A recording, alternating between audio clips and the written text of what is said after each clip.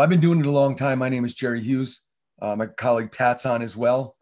Uh, we're going to move through the next hour or so and kind of cover some of the key points uh, for uh, risk assessments and audits and the difference between the two. So we've got on our agenda, as you can see, we're going to cover some of the terminology. You know, in this field, as well as many other fields, acronyms are everywhere. In fact, often we use them as, as words themselves. And so I'm hoping today, between myself and Pat, to kind of break through some of that, explain them, use them in examples, and then get get into the nitty gritty of the risk assessing process and auditing and, and some of the other uh, terms that are used and misused out there. And then we're going to cover uh, some uh, specifics about controls, which is a key facet uh, in any organization. And then lack of controls or control weaknesses. We're going to cover a little bit about that. Uh, and then we'll dive deeper into that terminology and really talk through the different uh, facets of audits and different types of audits and, and that kind of thing, as well as assessments. And then we'll summarize and bring it all home and then we'll uh, we'll we'll take on those questions. So please fire those over to Rob.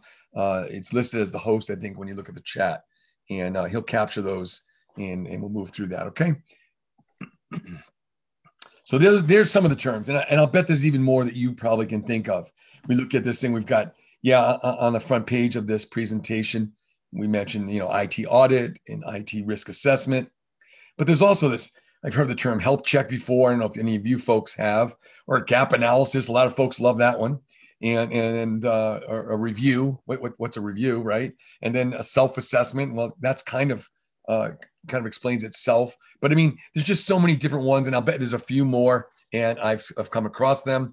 And, and at the end of the day, it, you know, for us, uh, it boils down to looking at the methodology employed. You know, was there a level of independence? You know, what was looked at, and that kind of thing. And then we can uh, you know, get some value out of what was performed. Yeah, and, great point there, Jerry. And, and with all of these different terms you see here, there, you know, there's some subtle differences between between all of them, but there's obviously a lot of carryover as well, and that's important to note. And they all have, you know, their own unique use, right? And there's times to do risk assessments, there's time to times to do audits, and then you know those self assessments and whatnot. And uh, we'll kind of talk about some of the similarities and differences between all of these uh, throughout the slideshow today. However, before we jump into those terms and the different types of assessments or audits uh, from the previous slide, we got to go and take first things first. We got to break down some of the terms, let you understand what they what they mean, how they work together, and then I think once we get through the next few slides, you'll get a better understanding of the building blocks or the pieces involved and how that all works together. And then when we get to the point where we are speaking uh, to uh, the specific type of audit or assessment it will make complete sense. So first things first, right? The obvious one I mentioned earlier, which was uh, you know control. So what is an information technology control, an IT control? And we're going to just, for the purposes of this presentation, I'm not going to just say uh, you know uh, I'm not going to keep saying IT control. Likewise, I won't always say IT audit.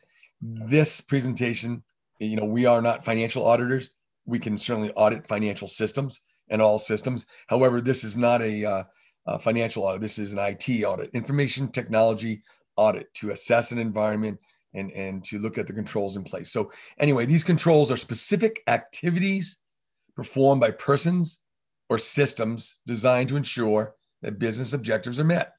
They are a subset of an enterprise's internal control. So it's settled out there, but within in, in an environment or anybody's environment, they've got a number of these controls, things as simplistic as controls that protect access to a facility. Maybe it's a, a door lock, maybe it's a guard, uh, a receptionist desk.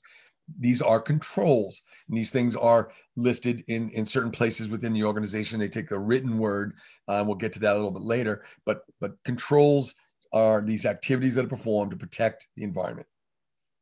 And then you look at you know where they where they're found, and they are typically found in policies. Sometimes they're in procedures, and then other related documents like checklists. Sometimes might even look at a a network diagram as a control. Right, it will list potentially some of the controls in, in the environment, such as firewalls and other infrastructure that that presents or prevents access that's unauthorized from the outside. So, so, so a, con- a control can take a lot of forms, but 90% of them or 95% of them are, are in live in the policies and in an organization. So any organization, regardless of vertical, must have a solid, strong set of policies to govern the business, to protect the business. It's it's almost analogous to laws. So these policies, you know, within your industry need to speak, they certainly speak to how you're going to do your business and what's allowed and what's not allowed. They must obviously roll up to the laws and regulations that govern the industry that you're in. Um, so, so both are important when we come in and perform an audit, an IT audit, right? And these written policies and these written control statements within these policies, these are considered the design of the controls. For example, a quick example of that, um, you know, it might be something like I mentioned here, um, uh, like down below in the next bullet, kind of talk about, you know, they're found physically or logically, right? It might be a door lock. That's a physical control restricting unauthorized access to a building. In my policy, it might be written that you know physical controls will exist all doors will be locked to the facility something simplistic like that but you can't just have a general statement you need to have an owner to it right so the you know facilities manager will ensure that all all doors to the facility will be locked after hours perfect now i know who's in, who owns it the facility manager and i know what's being done that the doors will be locked during business uh, after business hours, right before and after business hours. So that is a complete control statement. Perfect. I can audit it. I know what's supposed to be done. If it's not done, I can prove it. Yeah, great point there, Jerry. And, and just to kind of piggyback off of what he said, um, you know, the effectiveness of the control is just that it's the marrying of the two together, the design and then the actual control in practice, right? So uh, to kind of piggyback off his example um, of, you know, let's say the, the policy statement is that all doors are locked after hours and then you know someone shows up after hours and the door is, is not in fact locked then the control is deemed not effective so um, it's really the marrying of the two to uh, to make it be an effective control because you can have the greatest policies and the greatest uh, control statements ever, but uh, if they're not carried out in practice, then you know what what good is it, right? So we're going to run into different kinds of controls too, right? So so when I talked a little bit about the network diagram earlier, you know, I mentioned uh, you know firewall. Well, firewall is designed. Typically it's a piece of, of hardware that has a software layer to it that prevents unauthorized access to a network and and and so that prevents access to the network. It's proactive it's before whereas a detective control is is something after. For example a log file. So i turn a log file on all my critical systems and if something goes sideways and i realize that there's been a compromise potentially or something's not performing properly i will reactively look at my log files and see who who logged into the system at that time or did whatever. But it's clearly after the fact Ideally, between the two, of course, preventative controls are the ideal objective, right? Prevent it before it goes sideways. Detective, at least, well, at least we can figure out what happened, who did what, when, and where. For if we've got a nice centralized log system, we can we can do that. And a, corrective control is really a remediative one, right? So it's it's a, it's a remediation effort that's put in, controls that are put in after to basically address address um, you know a control that's not functioning properly you know, and then you start getting into some of the other um, terms that are used. One of them you'll see a lot, and this is, um, you know, a lot of times you see this in, in, more the financial industry. We do audit work for the SEC as well as in um, the banking industry, the FFIEC, and and they're they're very very common. You very common to see like general controls audits and application control audits, and uh, uh, this is also how uh, way back when when Sarbanes Oxley came out. This is how they they broke it down. Okay, we're gonna have auditors come in these IT auditors are going to look at general controls, and another IT auditor is going to look at application controls. There's certainly a boatload of overlap, but I want to cover a couple of the, the key points in here because the general controls, as it sounds, are general and pervasive throughout the organization. They'll inc- include logical access controls over the applications. Okay, so there's some overlap there, uh, and the data that um, uh, and the supporting infrastructure. So, so these logical controls, uh, you know, uh, are the access controls into a particular system or into a particular device like a firewall, maybe logging into that. So these controls uh, go out throughout the organization. And then when you move moving through change management, major major uh, uh, control area, right? It, it, everything from changes to uh, infrastructure or uh, changes to some some folks. It, it's kind of overlapped a little bit with the last bullet, system development lifecycle controls, where there's sort of also change management. Essentially, a, business need is is is uh, come upon and, and a request is made for a change, it must be authorized and approved. And then once it's approved, the change is made, verified it's good, button it down, move forward. And we have a nice clean audit trail of all of that.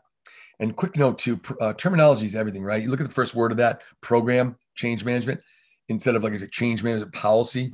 Difference between a policy and a program is very simple. A policy, uh, as I mentioned in one of the earlier slides, sort of the do's and don'ts, the Bible of the particular business, right? And and these policies, um, uh, you know, sort of again, we have an owner to each policy statement and, and a task. A program is the policy. It's also the procedures that roll up to that policy. It's education on that policy.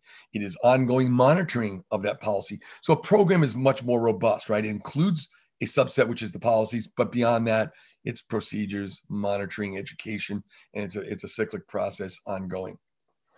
Backup recovery, major, right? Big big controls in any environment. And when you look at uh, attempting to preempt any kind of the uh, ransomware attacks and things, having having solid a solid backup program in place.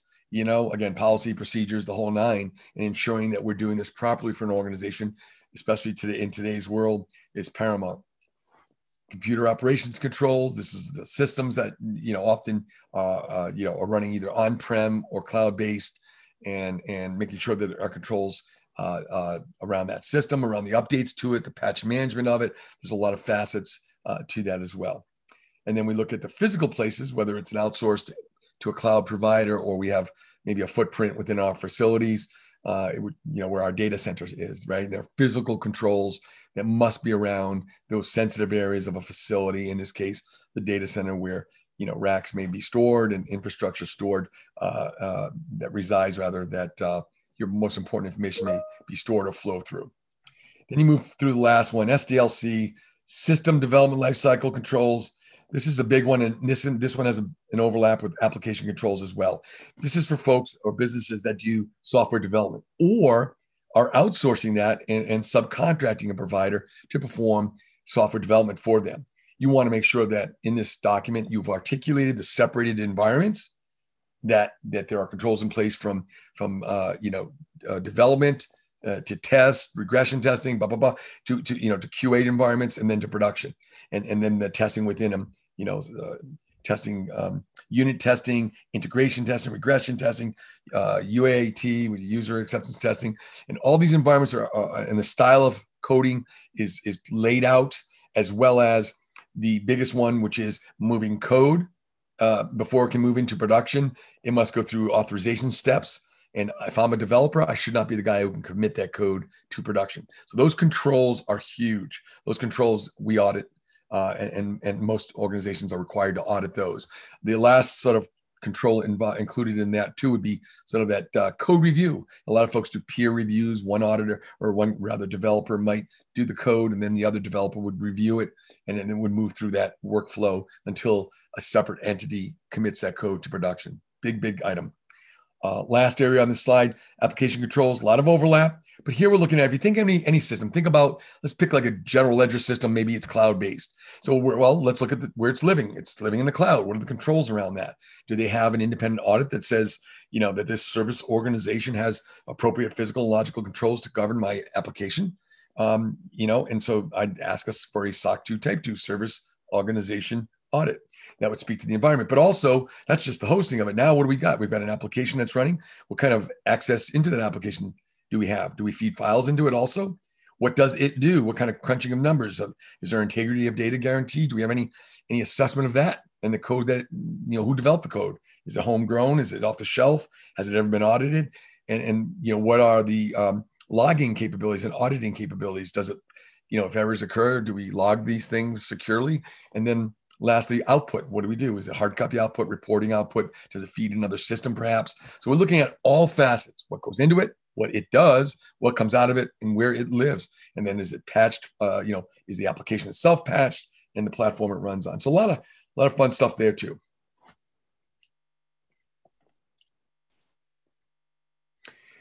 all right, control weaknesses. Well, we talked about controls. What if they don't work, right? We got that locked door and then you reach up there before hours and you figure the door's going to be locked before you get there and the thing swings wide open lack of properly functioning controls are considered control weaknesses, which is another word for another term for a risk. So risk, you know, a, a risk exists when a control does not function properly. And uh, uh um, you know, there's a little bit more we're going to go on to display, kind of exa- uh, exemplify that. But basically, the risk is not that, you know, in, in an example uh, of a control, if I have a control in place, you know, um, uh, for like say um, an application, you know, maybe user access into it. If the control was going to be that it had to be uppercase and lowercase, however, my program wasn't done properly and, and it didn't require strong strong password access, uh, you know that that control uh, is not in place properly, and I can just put in one character password and and later result in a compromise. But you know the, the risk is is not so much that you know the uh, the coding wasn't done right. The risk is unauthorized access into a system. It's not that I programmed it improperly. That's a control failure, a control weakness, but the actual risk with it, the risk is that someone could gain unauthorized access into that system and the confidential information, perhaps that, that runs through that big, big item, big differences, and we'll give you a better example down the road. So we put these controls in place to mitigate or remediate risks. You know, the access to a building we talked about, to system, same kind of thing. The thought is let's put stuff in our environment to protect the stuff that we do so we can keep doing business and stay stay in business, right? Um, so we, we can use several controls. You know, sometimes it's not just one control that meets, uh, you know, that mitigates a risk uh, appropriately. But when you talk about, like I used to work in a banking environment, and even just gaining physical access to the building. It wasn't one control. We had a locked door, we had an alarm. We even have one of those silly things when you leave where it has the colors that show the height of the person by the doorway. You know, it's a, that is a control. It's a small c- control, albeit a tall counter so they can't just reach over. That's a control. Uh, dye packs a control. Ambush alarm, that's a control. The cash drawers in a locked drawer, that's control. In, in, in the beginning of the day, they're all in a vault somewhere. So all of these things, these aggregate of controls uh, make that environment uh, less risky. So uh, the other thing is, what if we can't meet a control, right? What if, and we dealt with, I've been around for a while. Uh, one of the guys gave my resume a little bit. I've been around for quite a while. Been doing this for uh, a number of years, and we still deal with legacy systems. These are older systems that don't, you know, don't have all the bells and whistles of these newer systems. Um, in some cases, that's a good thing. There's less risk on an older platform, like a Unix platform versus a Windows platform. But but some of these things they just don't have the, the requirement or the, the capabilities to do some of these other things. And, and so we're forced to say, well, how can we protect this particular system that doesn't, you know, allow strong passwords? Maybe it was coded 100 years ago and the thing was, you know, four four characters or some foolish thing. You know, well, maybe we can put other monitoring tools in place, sort of a detective control, like to monitor it. Or maybe we can also have it physically in an environment and put extra perimeters around it, whether it's through another uh, separated um, subnet that is um, has a perimeter firewall around it, uh, whatever, things like that. So these this aggregate of controls and and the monitoring of it, these all add up to be compensating controls that will now bring that risk, risk back down to reasonable levels. And then the last element on this one is, you know, what is our goal? And I just said it. It's really to reduce risk to reasonable levels. We can get out here and we can you know, we, we I have clients that try to do this, like, hey, I want to, I work my way through the maturity model of, of these controls, and I want to be a five. One is ad hoc, five is you're awesome. Five's also you might be a little crazy because you want to shoot for five. Everybody does, but at the end of the day, the cost to get to a five, you need to assess that. You need to look at the, the cost versus value evaluation there, and and maybe it doesn't make such. Maybe a four is good enough, right? We have good, reasonable controls in place, and it didn't cost us, you know, an, uh, too much money to get there, and we have reasonable controls in, in place, and we have a solid uh, security posture. That that's excellent. Maybe it is a five, but but typically it's not, and, and a four is good. Yeah, and that last point is so huge to uh, you know to re- reduce to reasonable levels, right? Because there's never going to be no risk, right? Something can always happen. Um, so it's just getting it to that level, um, you know, that you as an organization can tolerate, and that also puts you in line with um, complying with you know any uh, laws or regulations or any frameworks that you know you may need to to be in compliance with um, for your organization. So it's really just getting it to that reasonable level, um, and then just to kind of jump back to the aggregate of controls. Um, that's another huge huge one as well because um, you know controls working together is kind of where uh, you know it'll be at its strongest. Um, right. So, you know, having all like a locked door and, and cameras and alarms and all the things that Jerry had just pointed out, all working as one to kind of you know help control your physical environment as a whole um, is is really huge, and and that becomes more powerful the more controls you have in place in that in that regard. Risk analysis. Well, listen, this is uh, this is an important one, right? Because no two risks are the same. No two controls, may, may you know, are, are typically the same in the sense that you know I, I can have an entire control environment and there may be hundreds of controls buried throughout my my big strong policy set. Uh, however, you know, a control that protects the perimeter of my environment, like a firewall, things of that nature, you know, are more important potentially than a control. Like, oh, I, I maybe I, I do ongoing security awareness training, and maybe I didn't do, uh, you know, uh, or acknowledgement of policies. Maybe I didn't have somebody sign off, or some of those, so that control wasn't working properly. That one there, while it's a weakness because you, your policy says you'll you'll sign off on all employees annually will acknowledge policies exist. Da, da, da, da. That's important. Don't get me wrong, but is it as important as the lack of a firewall that, that protects my my private network where my database exists absolutely not so these these are different controls and like likewise when you assess a control you're looking at that kind of thing essentially you need to determine the severity of it right what's the probability of a negative occurrence happening and then if that does occur what would uh, what would be the impact so what you're reading there in bullets two and three are a little bit fluffy. I, I always like black and white. Unfortunately, we do have shades of gray in here a little bit, and and it's assessment. It's the assessment and the maturity of of number one. Uh, when you when you have auditors that come in that are all seasoned and have experience, that that is huge. That's gold. The, the other aspect. So, so we're drawing always on our uh, our experience. We're drawing on our education, our certifications, things like that to to uh, uh, to determine what we believe the probability of it going sideways based on statistical information and then if it did what would be the impact on your business you know should that control be be compromised? You know so so you know it's that product which equals the risk level. And what we do in our assessments and folks do it different ways i've seen it.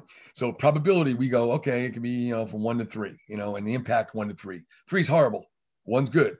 You know three you know three's horrible one's good good good enough. Both of those have a one to three rating. So a product of a nine, you know, three probability, that's a high probability and a high impact. Three times three is nine. That's the highest risk level going. Three times two is a six, or, or two times three is a six. That's a medium, you know, as you work your way through the products of it. So one times one's a low risk. So my point is don't get nutty about oh, because I've seen some one to 10. Right? What's what's the difference between a seven and a six or a seven and an eight? You know, the, at the end of the day, it's more about what one risk level is relative to another. You can go on a one to 10, one to three, one to five, whatever you want scale. Know what's more risky than the other thing. And then sort those to the top. Find out which ones are the most, present the most risk to your environment. Yeah, that's great. And just another point there as well is, you know, kind of using that that system where you're kind of rating rating the uh, the risk level kind of um, you know, assist organizations in, in, determining where they want to prioritize their efforts, right? So if you get a high risk rating in a certain area, obviously you want to, you know, focus your attention to remediate that area first before you, um, you know, start to tackle some of those uh, lower level risk areas. So when we put we putting these slides together, so I see I showed this in the past. What's what what's this about? so I did this particular slide. I love this example because I, get it. I, you know, I, when I talk to a lot of our clients, when working with them, uh, regardless of industry, at the end of the day, it's like, you know, when I talk to them about different risks and being able to potentially accept risks and taking risks, you're, you're also always doing a, an analysis, right? You're analyzing your, the probability and the impact of bad things occurring yourself all the time, whether you realize it or not for example, in the banking world, I always say it's a nice, easy one. I came to the banking world when the when the bank's locked, like I told you earlier, locked up, alarmed, you know, security guard, cameras, you know, all that stuff in the drawers, dye packs. It's in a it's in a cage inside of a locker in a bigger vault. That is low to no risk, right? The, the chances of someone compromising that vault is really in this day and age nothing, next to nothing. However, we take on that risk every day. We open up the door to the bank, we disarm the alarm, we you know we come on in leave that door unlocked we go in we open the big vault door we open the cage we open the locker we grab the key we bring it out to the front line you know. So we do all of these things knowing knowing that it was almost no risk before and we start busting through these things and we do and, and and the risk is starting to go up. However we mitigate that risk. We mitigate that risk through the, the other things we mentioned this you know, there's still the ambush alarm, there's a dye pack, there's, you know, there's a higher counter, there may be a security guard, there's the, the height thing by the doorway, there's the cameras, alarms, you know, all that stuff. So you look at all of these things, and though we took it from a low, low risk environment, we made a business decision to to to move forward, take on a certain level of calculated risk, but we chose to mitigate those risks and, and bring them back to again more reasonable levels, albeit a little higher than when it was all locked up. And we had to do it. Why? To be in business, you have to, you know, it's fine, lock it all up and you're out of business. What does that do for you? So at the end of the day, we all make these decisions. You rolled out of bed today and everybody's still working from home. So you, probably, you might not have been far from the bedroom still when you're listening to this presentation. But end of the day, you, you calculate your risk in your own life. This is no different.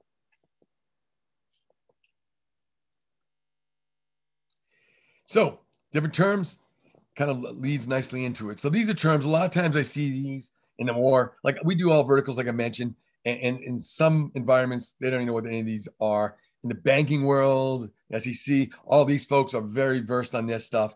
It's not very very complicated. You're looking at inherent risk. Inherent risk, like it reads here, it's the amount of risk uh, that exists w- without putting controls in place, right? What's you know, I, I'm putting something in place, whether it's logically on a system or physically in an environment. You know, what's what's the risk before I try to start protecting it? You know, that's the that's sort of the inherent risk comes with it, comes with the territory, right? Then residual risk is okay. I see what that risk presented. You know, kind of comes with the territory. I'm going to put some controls around it. Because I went to Pat and Jerry's presentation, I realized I want these controls. And I know they belong in my policies, so I'm going to put them in there and I'm going to have a nice security program, not just a policy. Because Jerry said, I'm going to take these policies, put some procedures around them. I'm going to educate people. I'm going to monitor it. Now I have a program. That's what he said in this presentation. So, anyway, the residual risk is what's left after you put these wonderful controls in place. I get a little risk maybe left over. It might be reasonable risk. That's our goal. You don't really want to stop until you get it to a reasonable level. Then you get a couple of other things here, a little bit related, but again, often in the banking world you know, they're like, what's your risk appetite? You're like, well, nobody really wants it, you know, has a taste for risk. But at the end of the day, if you're a business owner or or in management and managing, managing a budget, your risk appetite is essentially your desired level of risk that you feel like you'll take, right, to, to achieve your objective.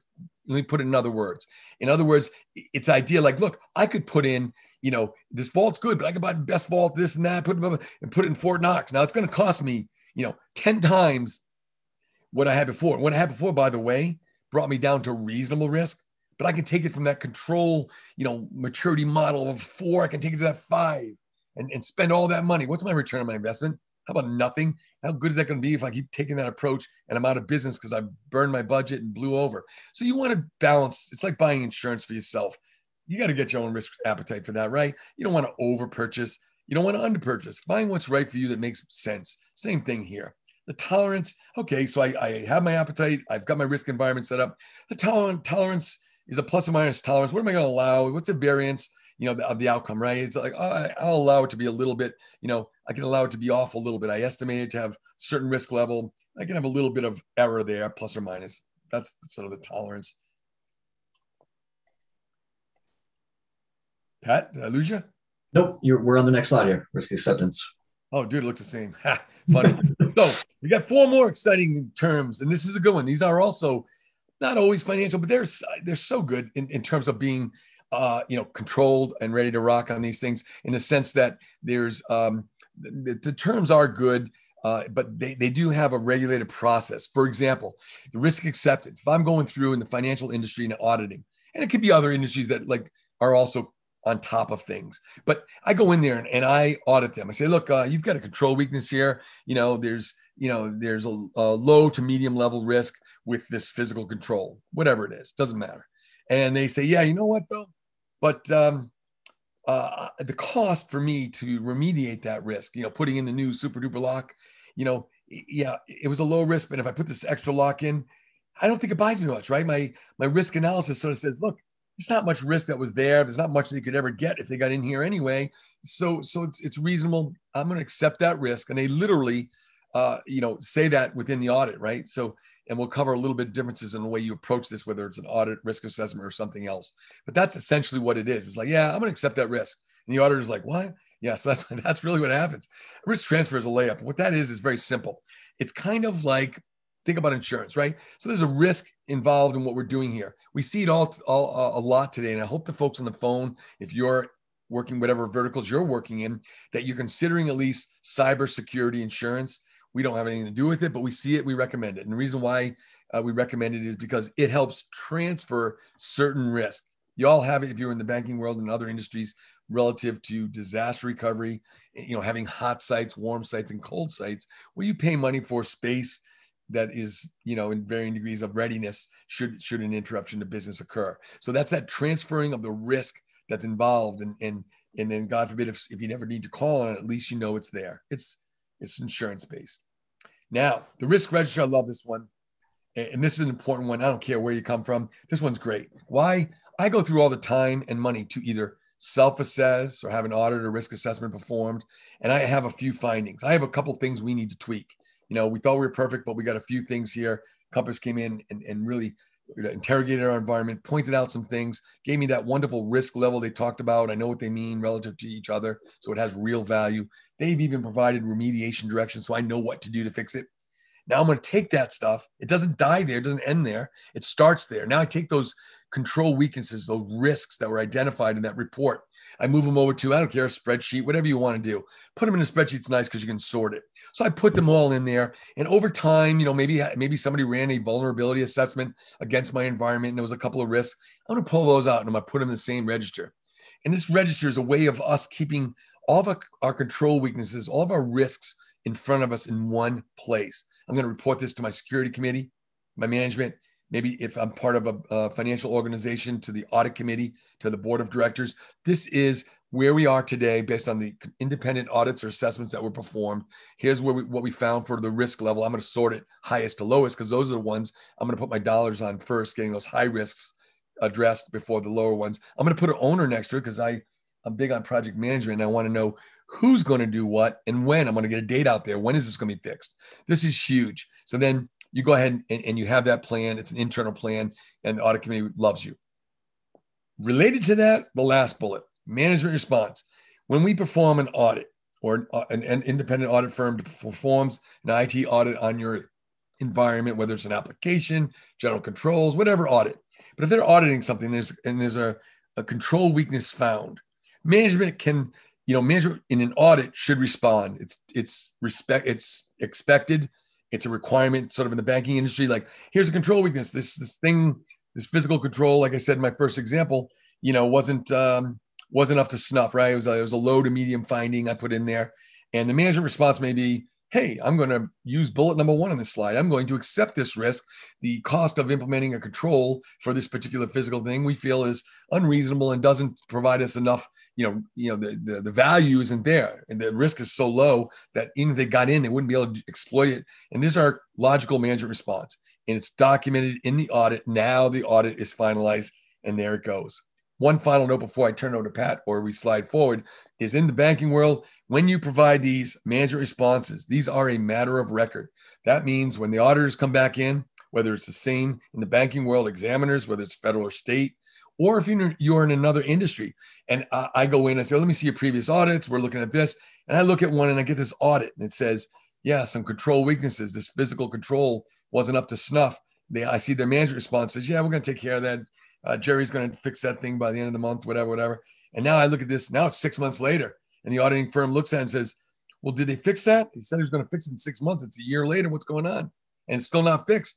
That is a major, major issue. That is a big problem. It's like lying to the IRS. You don't want to get caught doing it. So, so here's your deal. When you say you're going to do it, do it. Very simple. You put your management response in there. They're going to go to that. I guarantee this. That's the first place they look. Did you do what I said? You told me you'd do this. I took it on good faith. You better have done it before we come back. Yeah, no, that's great. And then just regarding the first point as well, uh, talking about risk acceptance, um, you know, at the end of the day, you're running a business, right? And, and it has to make sense. And, and kind of as Jerry talked about before, it's that kind of that cost benefit analysis of, um, you know, d- does the risk, is there a high probability that this risk, uh, you know, can be compromised? Um, maybe if not, then, you know, maybe choose to accept it, right? So at the end of the day, you know, you really got to weigh that out um, because there's never going to be no risk, you know, as we said before. So it's really just a matter of, you know, how much risk tolerance uh, can you take or, or risk acceptance can you can you take? So. This is my favorite example. So, so over the years, teaching our audit staff when we bring folks on, you know, and, and we go through and kind of we want we want a repeatable process even for us when we perform audits. So we educate the staff on it. I've spoken at different venues on this subject, and you folks get the benefit of this today. So, so for anybody who's ever heard me speak before, they're like, "Hey, use that example one other time." I love it. You know, it's it's kind of like sort of a test, right? What's a control? And, and normally in a conference room before this crazy COVID stuff, I'd be able to ask, "What's the control?" We talk about, "Oh, the control in this picture." So let's say this is the entrance to my my um, I don't know my bank, whatever. The control is the lock. Correct. The lock is the control. You know, how do you test the control? You try the door. Good. What's the risk? It's not that the door is unlocked. It's it's not you know uh, that um, there was no lock. It, it, the, the risk is that someone will gain unauthorized access. And, and so if the door is unlocked, i.e., I tested that control and I was able to gain access, it is unauthorized access, but that's not the complete risk. Gaining unauthorized access, what it cost you? Nothing. But what if I gain unauthorized access to confidential information? Now there's there's your full blown risk right there. That's my risk statement. It's not that the door doesn't lock doesn't exist. Hey, you saved a couple bucks. You don't have a lock on a door. It didn't cost anything. However, I gain unauthorized access to a restricted area, and now I have access to confidential information. That is the risk. So that's a control weakness because the lock didn't either work or wasn't locked. The control lived in our policy set we, we, you know, and it's part of our security program. So we had policies. We even had procedures on how we lock the door. We trained our staff. Hey, folks, lock the door. See this policy? Go ahead and acknowledge that annually. Sign off that you know the rules to the game. And that this is part of our, and we'll monitor it all the time. But this is part of our program. And and and yet here we are, broken control. Someone didn't lock the door. The law, the door itself was lock, uh, was was broken or uh, didn't lock, and I was able to gain authorized access to confidential information. There's my, my, my risk. I will remediate this risk, which is otherwise known as a control weakness. I'm going to, if the lock was broken, I'm going to replace it. If the if it was just poor training, I'm gonna maybe I just need to retrain folks. Hey guys, when you leave, you do this. Here's a checklist. I want this signed every day. I'm putting another control in, you know, aggregating controls. We talked about that before. I'm going to add that to my policy. Hey, not only do we my facility manager, when they leave the building, are they going to lock it at night? They're going to sign a checklist. They're going to check each item off, initial it, sign it at the end of the day. There's another control. It's a simple, silly little one, but guess what? It might tick their memory, and now they're going to do it. I might even put a monitoring thing in. Maybe I have a camera, an external camera I can check to make sure the person did it. So, so this is a way of of kind of going back and forth with the terminology. It matters because when you get your audits done or your risk assessments done, or the other terms I'm going to cover in a second, you're going to you're going to need to know what a control is and what the real risk is. And I guarantee you, when you read a lot of these these reports, they're going to be they're going to misspeak. They're going to say the risk is the door's unlocked. That is not the risk. The risk is unauthorized access to confidential information. That's the risk. Anything else, Pat? Uh, no, but just in, in terms of the uh, testing of a control, you know, this, the second bullet point here, uh, how do you test a control, right? So um, in this case, you know, jiggle the doorknob, right? And, and it's just that simple um, to test whether the door is locked or not. But then there may be other cases, you know, if you want to test, um, you know, user access rights for for an example here, um, you know, doing a full um, user access review, right? That may take a lot longer and is a lot more complex than than just jiggling a, door handle. But um, it's kind of that wide variety of, of all the different controls that could be implemented um, and then the appropriate way of, of testing them. Here's our terms again, right? All our, our crazy terms throughout these. And we are going to break those down succinctly. And you will leave here. I'm going to give you a, a hint. IT audit on this screen of all these an IT audit of these uh, terms out here is the most complex of all of them. And complex means cost more time, which is more money. More involvement by your staff too, though, right? So as we perform these different functions, and you're going to see what's involved in each one of these, and uh, and there's others I'm sure you've seen you've seen out there. But but what you'll leave today with is a clear understanding of kind of what's involved in an audit relative to what's involved in a risk assessment or a review, and and, and why they're different in terms of the steps and why they're different or how they're different uh, and, and why they charge you maybe more money to have an IT audit performed versus a risk assessment or a health check or gap analysis. So in every case, whether it's any of those terms that I had in the last slide, what are we doing? We are assessing the client's control environment. We all know what control is now to something. What do we what do we assess them to? Well, we can assess them to a law. Hey, let's see, uh, maybe you are in the healthcare industry, you're a covered entity. So you're governed by HIPAA or HITECH. And so you can, we're going to go through and based on what the client's looking for, we will assess you to the law of HIPAA, the security and privacy rules of HIPAA. There's a bunch of do's and don'ts and what you should do. And we're going to look at a lot of evidence. So, so that might be something. We might assess you to the PCI standard. That's a standard. It's not a law. It's not a regulation. It is a standard. It's put out by the payment card brands. And as a QSA, we come in, we perform an audit to your environment to that standard. You may be audited to a framework. I may not be governed by a lot of different entities. Maybe I don't have payment card information flowing through my environment. I'm not in the healthcare industry in any respect. Maybe I'm running manufacturing and I don't have any PII, personally identifiable information or confidential information anywhere. You know, maybe I just want to be audited to a particular standard. So I have at least a general sense, you know, whether it's an ISO standard or COBIT or there's a lot of frameworks out there. So, so these frameworks, ISO, uh, COBIT and, and uh, others through NIST and stuff, we, we audit to these frameworks all the time. So folks can know re- where they are relative to the, where they need to be uh, as it relates to the framework.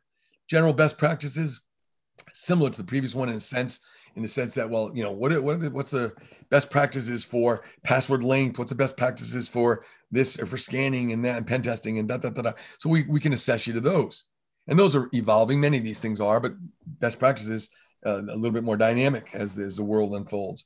And lastly, and there's probably a couple more, but, but, but essentially, hey, I can audit you to your own policies.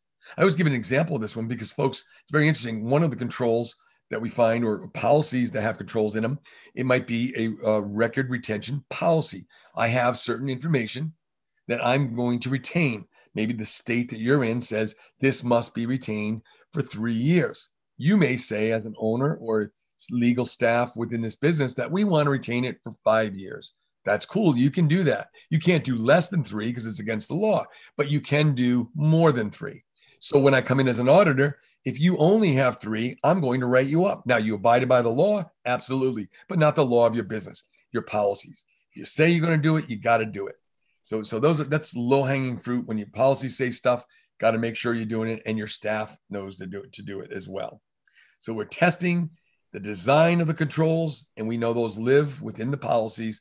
And then we're testing the operating effectiveness. So the design, hey, it looks well. Like always joke about going into an office and it, wow, I read the policy. It says, yeah, they're going to have, you know, receptionist. I'll be escorted. I'll get a badge, log in. There's cameras, locked door. She has to buzz me in the whole nine. And then I get there, the door's open, the camera's swinging from the top. The receptionist running off selling Avon to somebody and there's nobody there. And I'm walking around everywhere I want. That's the operating effectiveness or lack thereof. So that's kind of a pretty uh, broad or, or, or, you know, example or one that hopefully magnifies it. So now we're going to run through these last few in our home stretch. We got about 14 minutes, and then we'll take some questions, plus or minus 14. But so we look at them, and I'm going to cover the first two because they're the title of this whole thing. So the risk assessment. It, it, it's a it, you know you're gonna first thing you do is you're going to set your assessment plan. That's where you say, okay, Jerry mentioned about frameworks and laws. What am I assessing to? Let's pick that first. Oh, you know, I, I I'm I'm in the healthcare industry. I want to I want to go through a HIPAA risk assessment. Great. Let me grab the security rule and privacy rule. Do I want to do both or one? Let's set the scope. So now I've, I've chosen the law of HIPAA. I've chosen the, maybe just the security rule. And then I'm going to go through and say, what would I look at? Well, it says here in one of the items, I need to have policies. I need to have, you know, backups to my critical systems. Do I have backups? You know, so I'm, I'm going to request as an auditor of an environment like this, I'm going to request evidence like that, your policy set, your evidence of last audit, you know, education on security awareness and, and HIPAA training, da, da, da, da, da. So I ask for a bunch of different things. That's evidence that I'm requesting. I'm going to review that. And then if anything's missing, I'm going to, I'm going to give you a last chance. Hey, do you have these things? I haven't been provided them. If I haven't been provided them, they don't exist. That's a finding. So then I'm going to go through and perform interviews. I'm going to do the old for the old folks on the line, the Columbo thing. You know, I'm going to ask you questions. I'm not trying to trip you up per se, but I am trying to see if you really do what the control statements in your policies say. They say you escort people, put badges on, and I'm going to talk through that with you. And I'm going to have that one last question that that you may stumble on, or you, and I'm going to match what you say with what your colleagues say, and I am going to see if you're truly doing what your policies say, and then move through. And then lastly, I'll walk through uh, perform a walkthrough. It's a physical looking around of the environment, you know, you know, locked doors, you know, the vault's there, it's locked, good. That door's closed, good. Dot, dot, dot. I walk around. And then lastly, I draft the report, and I do an exit assessment. What is that? I'm going to go through. I'm going to provide with you sort of the draft of the risk assessment. Hey, folks, here's what we have. And it's an opportunity for us to agree. Yep, these things aren't in place. Or no, wait a minute, we have that. And Betty just didn't know it existed. Let me go get that for you. Ah, here's, here's additional evidence. And I'm going to modify that assessment to properly read because I have new evidence that wasn't provided that proves it was in place throughout the, the assessment. And then the finding, the final report comes out and includes the risks. It includes the level of each risk because we know no two risks are alike. And then what you should do to fix any control weaknesses uh, in there. Yep. And I just want to point out, um, you'll see in the next slide as well when we talk about IT audits, um, but it's really just the, the level of deep dive that, that differentiates the two, right? So in a risk assessment, you know, you're not diving as deep into the, the evidence and some of the observations and uh, the interviews, whereas um, in an audit, you know, we, we need to see evidence of, of everything, right? And we need to match up that evidence with the interviews. Um, whereas a risk assessment, you know, if we perform an interview and, and we ask questions and whatnot, and, and um, you know, we can sometimes take that at face value. Whereas an audit, we, we must have evidence of it. We must have it documented. Um, and we must say that through, you know, within the report it, itself as well. So we'll kind of talk one about point. Pat, one good point on that too. Think about what Pat just said too. We, we may take it and for a risk assessment, you know, hey, they said we do this or that, but make no bones about it. We are in both in all cases maintaining audit or assessment work papers where you know I interviewed Bill Smith and Bill said we do this or don't do that. On this day and time when I interviewed Bill Smith, this is what he said. Bill wants to lie. Bill's putting his name on the line. I'm putting in there that this is performed or not. If someone says, "Hey, who the heck told you that?" I'll tell you at three o'clock in the afternoon. Uh, Bill said this and this and this when we were in that room when I interviewed him. So, so there's a whole and you know process that we go through and we have to maintain as as auditors. And like Pat said, and then this is the uh, uh, you know this is the the Grand Prix. This is the the Mercedes Benz of all. This is the big big top. This is the big one. Uh, includes all of uh, you know what was in a risk assessment and then those two green areas i probably should have highlighted the observations as well as a third area that's a little bit different so so we set the audit plan the same right what's in scope you know what controls i testing how am i going to test those and then literally is a whole plan mapped out and then literally i go out and execute so the plan says test the control by going to the door before uh, nine o'clock and after five o'clock trying the door. Then do this then do this then do so it's literally uh, the, the hardest part of the audit is setting the scope and the audit plan is you know the, the scope is part of the audit plan but setting that documenting the controls that will be tested how they will be tested and who i'm going to speak to to test them the owner the control owner. And now you just play you know testing is easy just run through it um, and maintain the evidence. So then here you go you're requesting all that evidence just like with the uh, with the risk assessment but the third bullet in the evidence that we're requesting we're going to look for samples and depending on the type of audit we may be looking for it point in time, meaning, hey, give me some samples from today or last 30 days. Some audits, like SOC 2 Type 2 audits, things like that, uh, we may be auditing a period of time. It's not only do we need to make sure that door that door was locked in April, but we need to make sure it was locked in March and back in February. You know, so we're we may be auditing you over time, depending on what the control is and what's what the risk is and things of that nature. So so we're looking at over time potentially. We're looking at sample sizes. We have we have 10 systems. If all 10 systems are different, then I have to look at 10 systems. If all 10 systems are cookie cutter, maybe I look at 20% of them, grab two of them, depending on what's on those systems. You have to ask a few more questions, but that's really sort of the simplistic approach to it. But the big difference samples, deeper dive, like Pat said on the last slide. We're doing interviews, but maybe we're going to do more interviews. I'm going to not only talk to you know the, the manager or supervisor, but I may speak to three other people in the department. So that's deeper observations. I want. I, I read about it. I saw the controls as evidence that were provided, some samples. Now I want to see you do it right in front of me. Go ahead, log in. Let me see this, and let me screen share. We're all we're all good at that now, thanks to COVID nineteen. Let's do some screen sharing.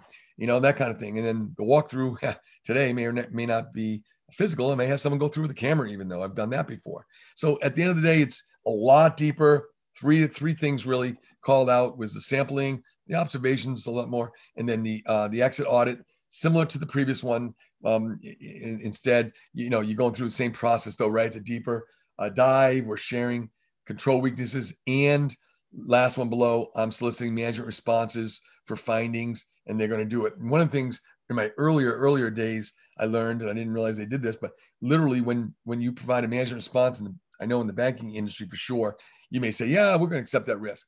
The auditor can say, yeah, and they can rebuttal. So the auditor is gave you the finding. Hey, here's the control we tested. Here's what we found. Here's the level of risk we see.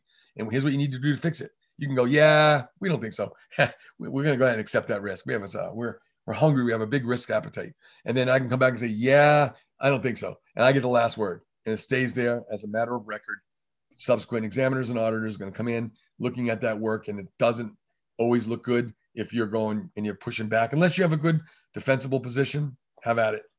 And then last uh, last few items here, you know, providing that final audit report, it, it, provides typically an overall opinion, right? So we've looked at these things, identified the risks and the levels and what needs to be done for remediation, but we'll also give you an overall opinion.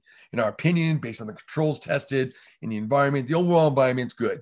It's not, it's not a binary. Like we are qualified security assessors for PCI. And when we go and do those, it's binary. You go through 300 controls being tested. You got one failure, it is fail. It's that simple. So that's crazy, I know. But at the end of the day, that's how that works. In this world, in the typical audit world, that's not the case. Um, that's specific to, to PCI.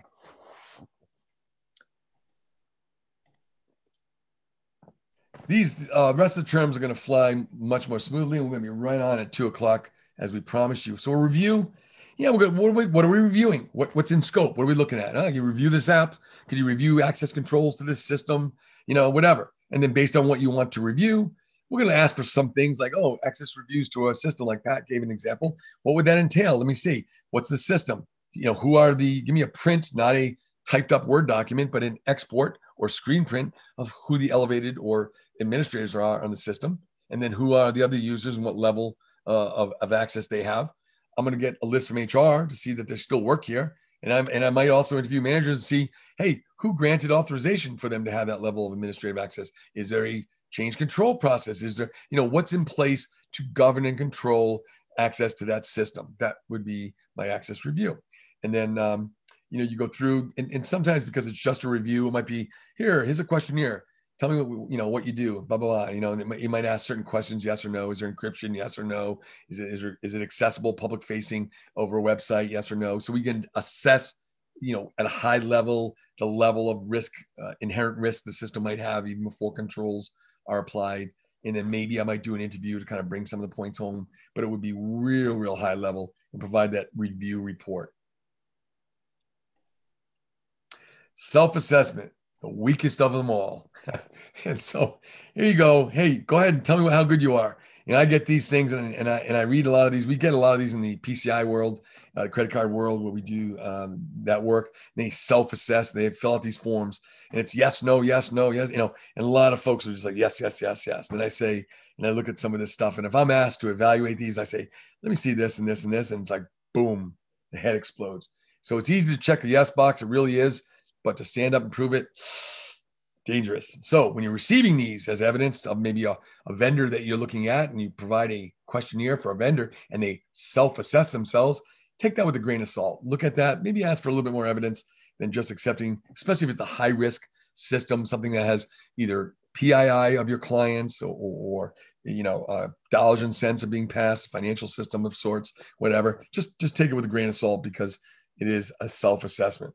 So they were they may even have to provide it to a governing body or a third party, like a vendor management program request, or in the example of PCI, you had to send it to to the uh, acquiring bank as evidence that they're compliant. Yeah, that's a great point because I, I actually just as an example, I just went through something like that with a with a client where they had previously been doing a self assessment questionnaire for for PCI, and then um, we were going to be doing theirs for for this year and uh, when I asked for for some of the items that would be needed for the self assessment questionnaire that they attested to last year, they they weren't able to provide them. So it, it can get a little bit dicey, as Jerry said, with some of these uh, self assessment questionnaires and and whatnot. So really, um, you know, be sure you're doing your due diligence, as it is the the weakest one of all, as he he pointed out. So. Then you get your gap analysis, similar to a review. Some people might even want to call it a risk assessment, but you don't it, there's no risk implied here. There's no, you may say the control, you know, here's what the control is, and there's a gap because it's missing, but you, you typically wouldn't put a risk analysis, you wouldn't apply a risk analysis to it and calculate the level of risk. You may not even provide remediation. That's that's not implied. The gap is, hey, here's where I am. Maybe I still pick out my control, determine what I'm reviewing, Maybe I'm going to go to I don't know COBIT framework, COBIT five. Look at the control uh, about availability of you know system availability, and uh, and I prove that you know I'm, I'm gap. I'm providing a gap. No, we have no plan. Uh, that's a that's a finding. You know, so I asked for evidence. There's nothing there. Maybe I, I found out through an interview or whatever questionnaire. But anyway, at the end of the day, it just shows the gaps. Doesn't tell you what to do with it. Doesn't tell you how bad it is compared to something else. It is what it is. And the last one before we summarize and land right on exactly two o'clock is the health check, the weakest, right next to right next to self-assessment. I might have been a little hard on self-assessment because health check's also kind of weak. And I might even say this is weaker. This is the same thing. What am I gonna what am I looking at? It's kind of like a checklist often. Yeah, this is weaker. Let's all agree on that. This is weaker. And it's like, hey, you got these things? Yeah, I got policies. We do we do quarterly scans. We do this. We do this. All right, good. I'll see you next quarter. That is weak yeah, uh, that's definitely worse. And then I might even put a report. I might not. See, that's just, and it goes nowhere. So that is definitely the weakest of them all. And when I wrote this, that's why I put it last. Like I misspoke. now let's bring it all home. What the heck did Jerry and Pat say? So first thing is ask yourself who governs you, right? What you know, what industry am I in? Who am I making? You know, do I deal with private information? So identify the laws and regs or standards that apply to me, and then you know, grab a company. We do it. Lots of companies do it. Get somebody that you're comfortable with. Certified, but also experience. I don't want to make green coming in my building and tell me, you know, looking at my environment, they don't even know what what is what. So, so a little bit of gray hair helps. Get a little experience out there, um, and then you're going through. And, and if it's an audit, you want to make sure you're providing a management response to any findings. Grab those risks if any exist. Sort them by severity, highest risk to lowest. Put an owner and date to them and then move to remediate them in a timely fashion. And I bring you to two o'clock. Thank you. Any questions? Any comments on how great that was landing at exactly two o'clock? so we got some questions. Want to read them off to me, or you're gonna make me kind of find where the question thing is? All right, I'll do that. I'm okay. Uh, we communicate risk coming out of a vendor risk assessment via email response follow-up center. We do not have a risk register. Any suggestions to encourage the business to follow up on open risk once a vendor has been approved or mission. Yeah, as part of your vendor management program, policy, procedure, monitoring, education, we go through and you and, and you get these vendor questionnaires back. Uh, you want to go through and uh, typically in the contracts that you engaged in, uh, for these third-party uh, relationships, you you want to make sure there's an SLA, a service level agreement. What does this vendor say they're going to do for me? And you you want to make sure they have availability and security statements in there, privacy statements in there if it's applicable to what you do, and then follow up on those. Definitely risks should be followed up, and you need to weigh: Do I want to keep doing business with this vendor if they cannot provide me evidence that they are compliant and holding the standards that we have in our business? Um, some people want to talk about a little bit about between management IT risk assessment and IT risk uh, led by by audit. So it could be an internal auditor performing these or an external auditor, more independence. But either way, the risk assessment, like I said, is a little bit a lot higher in the sense of, of evidence, right? A lot lighter. I don't ask for as much. I don't ask for those samples. I gave you an example of 10 systems. Give me, if they're all the same, I only see one or two of them. If 10 are different, give me all 10. I want to look at config files, owners, updates, patching, everything, log files. I am tearing into this 10 times versus one or two times. Major difference time wise, cost wise, it's much, much more involved, also much more valuable. So, what are you looking for at when you perform an application audit? Good stuff. So, an application audit, uh, I listed some of the facets of it, but we're looking at what goes into it, what it does, what comes out of it. Going into it might be a file feed, might be data entry by a, a person who has access to it. Is it patched? What platform is it on? Meaning, what operating system and hardware, or is it in the cloud? What controls do they have? You know, and that kind of thing. And then are there controls within, if it's a financial system to govern, you know, ensure that uh, errors and error correctness is there, that there's error logging, that auditing is turned on, and we can follow up uh, even detectively if something went sideways. Is there output? Is a hard copy who has access to it? Is a file feed to another system? All kinds of fun stuff with application audits. All right, all right. Uh. And that I think is everything. Ah, please discuss and compare vulnerability assessments and penetration tests. All right. So, and, and early on, I saw these used and misused, and it kind of frustrated me because we offer both of these services and they are dramatically different. So, so when, when someone says, Can you come into our environment and perform, let's just say, an external vulnerability assessment?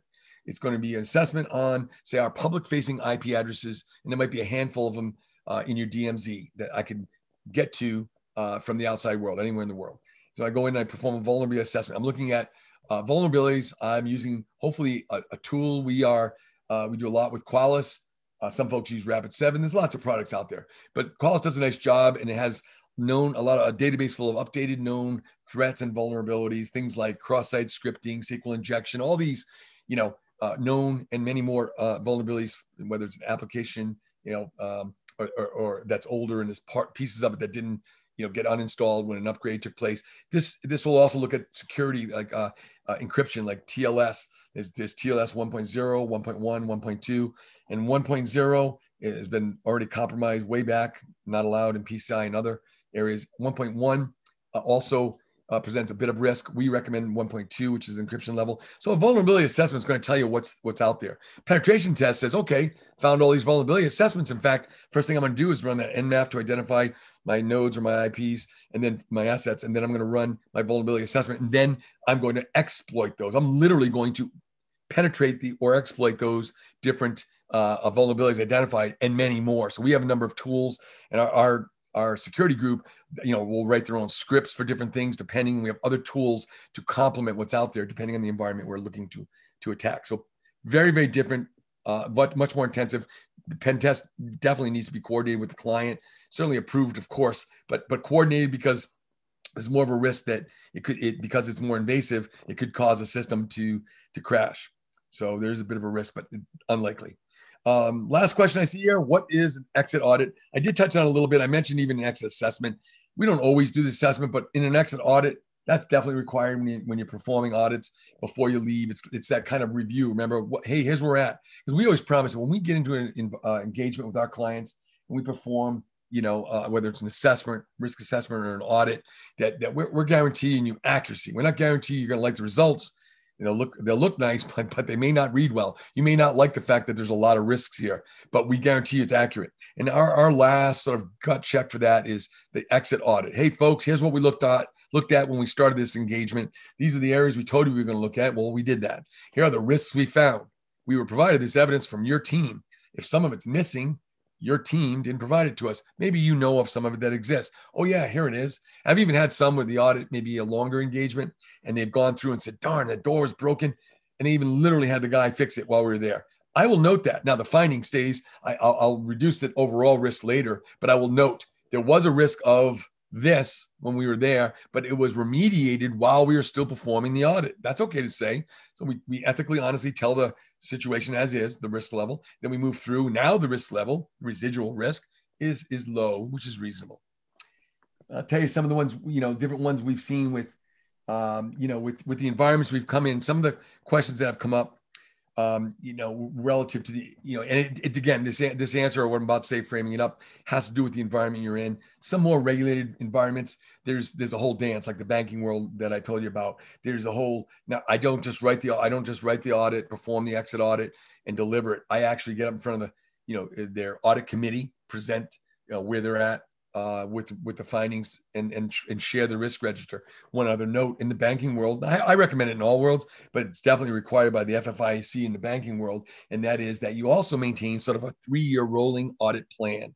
Audit plan is going to go ahead and say, here's what we're going to audit this year, the next year, year two, and year three, and it's a little bit flexible in the sense that hey we just maybe business changed and we added a new system. Well gosh a new system means potential new risk. Why don't we add it to this year's audit plan? Maybe we'll move something out to the second year. But in, in a nutshell very quickly the first year and and, and uh, you, you want to do this. You want to put your higher risk items and have them recur every year, right? So I've got an internet-based system. It does financial transactions. That's a high, it has inherent high risk, right? The risk before I put controls around it. Now I put some great controls around it, so the risk is reasonable, but it came inherently high. It's a very important system to what we do. I'm going to audit that every year. And Then I've got some other systems or other areas that may be auditing a back office application. Well, there's physical controls around it already, and there's logical controls, less risky. It did well in the last audit. Maybe we'll move that out to once every three years. So you kind of move them around like that. Things that are very risky, maybe we do them every year. Things that are less risky, every other year. Things that, you know, that pop up, we can slide to the front. Some that are less risky, we move to the back. Common sense in all cases, we update our audit committee And often we, we bring that same stuff to the board of directors. Hey, folks, here's where you're, you want to know how the uh, the security is. You have a, a, fiduciary responsibility. We want to share with you the, the security posture of your financial institution or your whatever business you're in. Here's where we're at. Here's what we did. Here's what we're going to do to fix those. Our risk register, look at this. They're all shrinking. One note on the risk register if these things, as you're starting to make progress, and you will as you move through with an owner and a date, track to those internally. And as you complete them, move them to a use Excel. It's really easy, but move, put another tab out there, right? Another worksheet within the workbook, and the completed ones get moved out there. Those are a pat on the back. Those are the ones that, hey, these were out there before. Look at this. We closed the gap on those. We got two left. Maybe four more came on from a pen test that was performed. And boom, boom, boom. You constantly, it is very dynamic. And it, it's your story of how you're doing as a security officer to to to make, make sure that we're keeping the controls in front of us and we're mitigating those risks to reasonable levels. We do get, uh, I see another question came up. We do get questions about security officers and what their role is. Some of our clients are very small, so we perform like virtual chief security officer roles for them rather than going out and hiring a security officer, for example. It's like this is the new thing since sliced bread, I guess. We get pulled into, uh, and, and we do a lot of it now. We've got a whole group that handles uh, security assessments for organizations. Think about it. You don't have just one person you're hiring, you're hiring a whole uh, organization to support you in your business needs and your security needs. And so, good way of staying up on it. And and the other aspect of it is, you know, they don't have any benefits. All right, last question. Uh, how are we doing on time? Oh, 210, not bad. If we complete an audit, send it to another department for completion, and the department doesn't complete it, what's our responsibility to ensure we've covered ourselves? Well, the fact that you provided it to another department I don't know what industry we're talking about, but the point is, if I'm in, you know in a business and I've I've identified what the risks are, I've completed the audit. These are the findings. I make clear and copy. You know, email is wonderful because email is an automatic audit trail. I won't send anything through email, and I wouldn't send an audit report, by the way, unless it was encrypted, because it shows a control weakness. Anybody getting that, you're giving them a little bit of a roadmap to some of the problems we have in my business. So don't send it that way. But you may say to them, "Hey, folks, it's up on our secure drive. Here's where it is. There's six. There's six, six risks." In your area, Joe Schmo, please take care of those. These are very high. The auditor identified them as as high. So so I need you to provide me, you know, your management response, maybe, maybe your who's the owner and who's what when you think I'll have it ready by uh, and, and copy the right people. So within your uh, organization and the politics that may exist, because they exist everywhere, whether we like it or not, you, you can have it nice and politely, subtly provide them a message, get the correspondence back or lack thereof. But at the end of the day, you provided them that message, you followed up, and you've got a nice audit trail to show the world that you did the right thing. And that's how you ensure that you covered yourselves.